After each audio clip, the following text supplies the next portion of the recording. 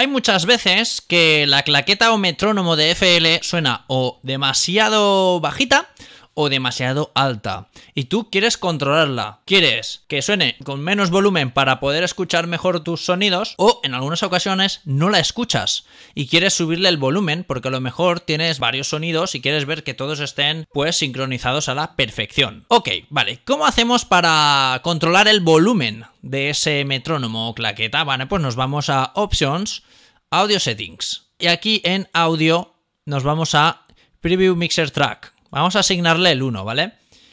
Ahora el metrónomo o claqueta está asignado al canal número 1. Tú puedes ponerlo al que quieras. Lo que yo recomendaría, pues a lo mejor que te lo lleves al último canal, por ejemplo, porque eh, pues así no te entorpece ningún canal que seguramente vayas a usar. Cerramos y ahora debemos tenerlo activado aquí, ¿vale? Y damos a play.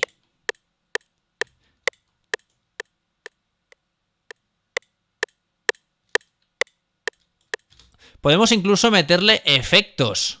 Es una cosa muy, muy loca. Ahí veis, incluso distorsión, no sé, podéis inventároslo.